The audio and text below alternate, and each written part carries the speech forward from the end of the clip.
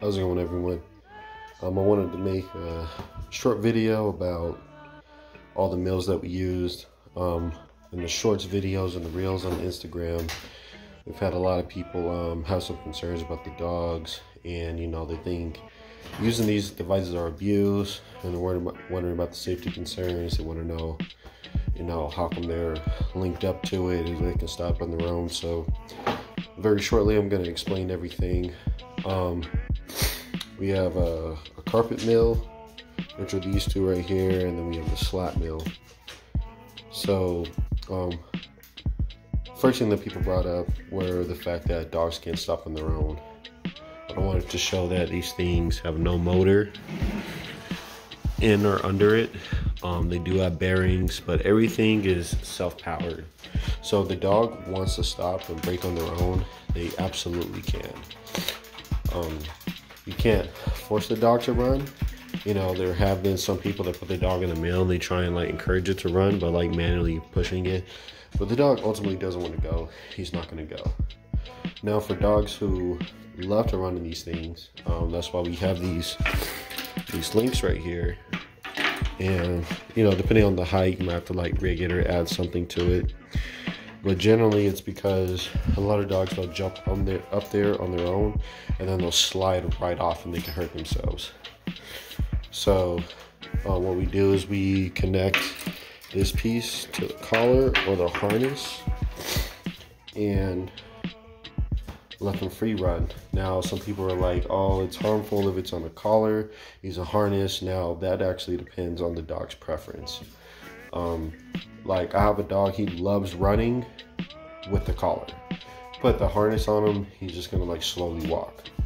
Um, and this is up to you and your dog. It's up to you. It's up to you to like figure out which works best.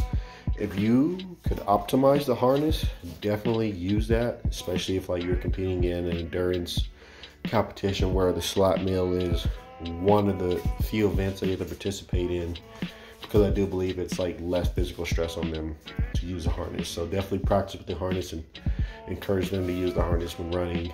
And a way you can do that is when you go out jogging or walking, because I go on a lot of hikes and runs myself with my dogs, which is how they built up the love to run.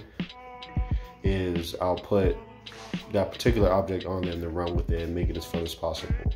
That way, when you put them on here, they will run with the harness on because you know dogs they understand correlation. They're like, oh, okay, this means this, where this means that.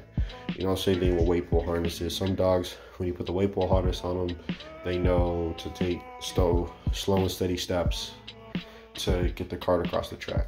Whereas when you put a running harness on them, then they will sprint. You know, like Bob, like Bob Jordan harnesses and stuff like that. Um, another thing people brought up were not so, with, with the slat mill, um, they were afraid of the dog's paws getting pinched. Now, I want to show that it's very important, especially for people who plan to get one of these, to make sure that when they hook their dogs up, the front paws stop right here. Um, because the dog, the paws will pinch at this point. As you see, it gets flat. I like to be safe and just make sure the paws don't extend upon this point because it's flat all the way down, starting from here. Um, if you're if it goes too far out, your dog can pinch and hurt itself, and we absolutely do not want that to happen. It'll cause some injuries. You have to take it to the vet, and then it just makes it it just makes the device seem a lot more negative to people who already assume that it's abusive. Um, that's a quick rundown. Now, I, I plan to make a whole nother video about how to teach a dog to run on these mills. Um, it may be a different approach depending on your dog for the slat mill than it is the carpet mill just because some dogs they're okay with a little bit of resistance. It's easier for them to like go into you know find their footing on the carpet mill. On the slat mill it's pretty easy like little pups can move these things.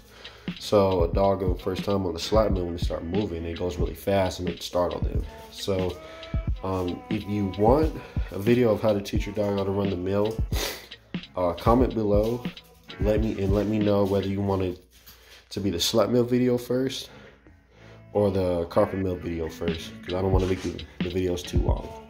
and I'll show you like the different ways that you can utilize these things for different dog sports or just health in general. Last thing I want to um, talk about is um, only use these as an accessory. Do not whatsoever depend on these for dog walks.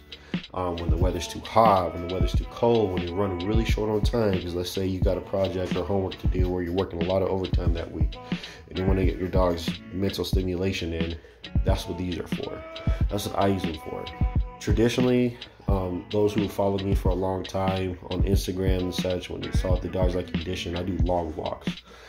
Three mile walks twice a week, then we bump it up to five miles, and sometimes, even with some dogs, it's seven miles a day or seven miles twice a day, as those who followed me when I was working with Hank. And these mills are really only when I'm running short on time. You know, I get called into work, I'm feeling sick, and you know, I, you know, I'm feeling really weak, and I can't go out myself. That's what these are for. Or if you're competing in top dog, or you just want to build some muscle for weight pull, that's what these are for.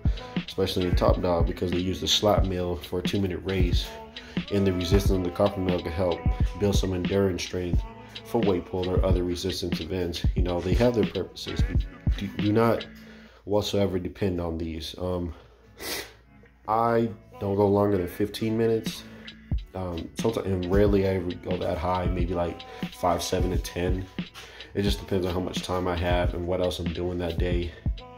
But I wouldn't go longer than that. If I can go, if I can put them on the mill for about 30 minutes, I might as well have just taken them on a walk. And that's how I do things. That's my personal opinion. Um, I prefer the bond. I prefer to go on hikes and all that. So that's all I got for you guys. Um, like I said, if you have any questions, contact me through Instagram or Twitter or Facebook. Follow me on Instagram and all those platforms as well. Comment below if you have any questions. Um, feel free to express your opinions. I, I won't be upset whatsoever because I do want people to be open about these things. I do want people to express their thoughts. That way, us in the show, in the showing and working sporting community can you know, give you guys clarity and show you guys that our dogs aren't really in danger like that.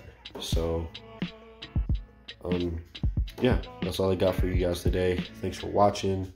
Um, for those of you who've been following the journey, I appreciate it. Um, we're gonna talk a lot more about like things that can be interpreted as dog abuse. What is dog abuse? What's taking things too far? and all that stuff because you know I want people to if they're going to use all these things to be very very safe with them.